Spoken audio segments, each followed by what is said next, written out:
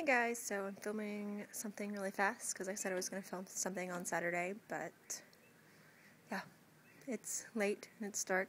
I'm about to go to bed because I'm quite tired. It's been up all day and usually I'm asleep during half the day, but um, I'm at my church retreat. It's been good. I've spent all day fellowshipping with other people and yeah, very nice.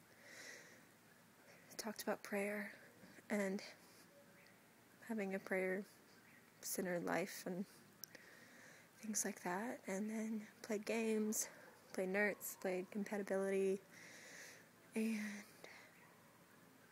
hung out, played with kids. I would show you what it looks like, but yeah, darkness. Ooh. Yay. So yeah, um, that's all you get. I'm gonna go read a little bit and then go to sleep. Bye.